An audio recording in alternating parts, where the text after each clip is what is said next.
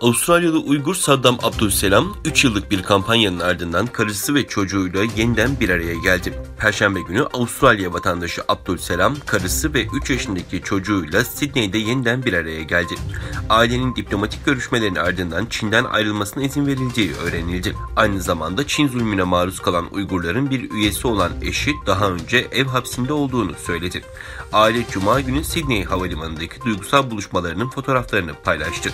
Abdülselam Selam 2017 doğumlu oğluyla daha önce hiç tanışamamıştı.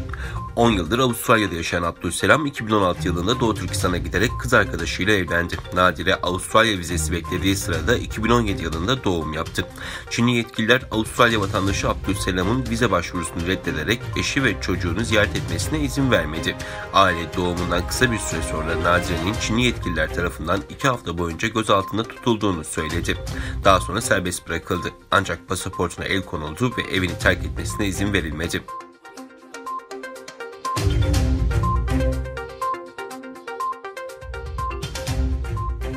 Kanada, Çin'de bundan böyle askeri tatbikat yapılmayacağını açıkladı. Kanada Ulusal Savunma Bakanı, Dışişleri Bakanlığı'ndan bir grup üst düzey yetkili tarafından hazırlanan Çin'le ilişkiler konusundaki raporun bir gazetede yayınlanması üzerine federal parlamentoda konuyla ilgili soruları cevaplandırdı. Bakan, Çin'de bundan böyle askeri tatbikat yapılmayacağını belirtti. Bakan, askeri tatbikatların iptal edilmesinin gerekçesinin Çin'de iki yıldır tutuklu bulunan Kanada vatandaşları olduğunu ifade ederek, keyfi gözaltına alınan Kanadalılar için her zaman ayağa kalkacağız. Çinlilerle askeri tatbikat tatbikatları durdurmamızın nedenlerinden biri de bu dedi. Çin ile Kanada arasında daha önce yapılan anlaşmalara bağlı olarak 20'den fazla ortak askeri tatbikat gerçekleştiriliyordu. Kanada ile Çin arasındaki diplomatik gerginlik, Çin'i teknoloji devi Huawei'nin sahibinin kızı ve şirketinin CEO'sunun Washington'ın İran yaptırımlarını deldiği gerekçesiyle 2018 yılı Aralık ayında Kanada'nın Vancouver kentinde tutuklanmasıyla başlamıştı.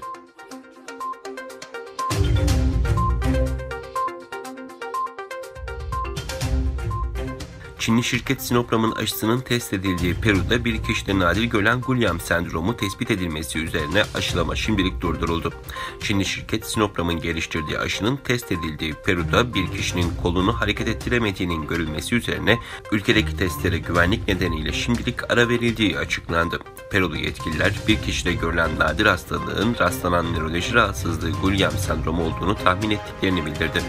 Bulaşıcı olmayan sendromda hastalar kollarını ve bacaklarını hareket ettirmekte zorlanıyor. Çin devlet şirketi Sinopharm'ın geliştirdiği aşının Peru'da bu hafta 12 bin kişi üzerinde denenmesi hedefleniyordu.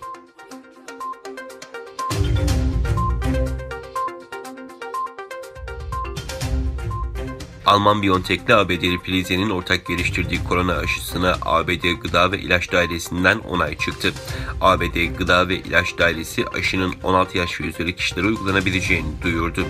ABD Gıda ve İlaç Dairesi Başkanı Stephen Hahn bunun korkunç pandemiyle mücadelede bir dönüm noktası olduğunu söyledi.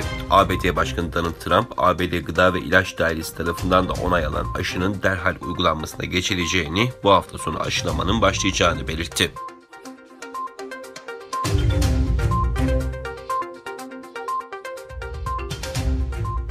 Batı Afrika ülkesi Nijerya'nın Katsina eyaletinde silahlı grubun yatılı okula düzenlediği saldırıda yüzlerce erkek öğrenci kaçırıldı.